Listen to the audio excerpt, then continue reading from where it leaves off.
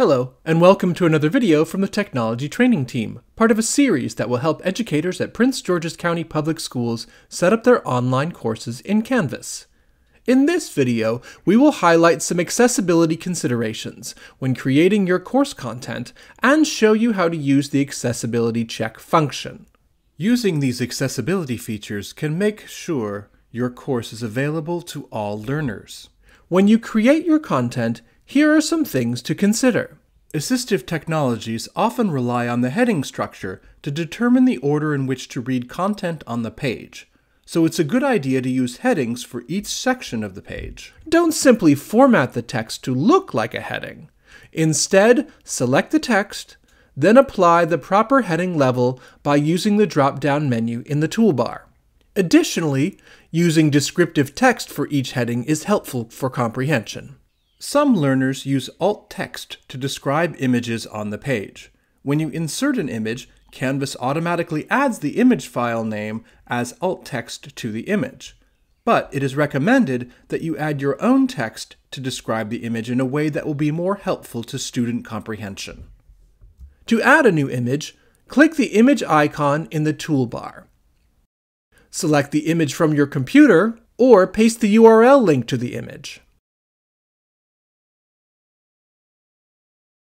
Scroll down to the Attributes section, enter a description in the alt text box. Click Submit. To add alt text to an existing image, select the image, click the Image Options pop-up, enter the text in the alt text box. Then click Done. Use bold and italics to emphasize text on your page whenever possible.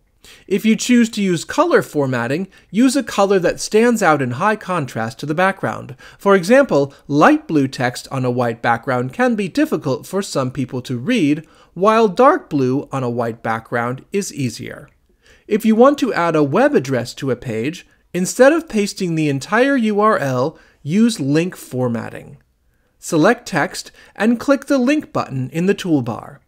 Type or paste the web address into the link text box. Click Done.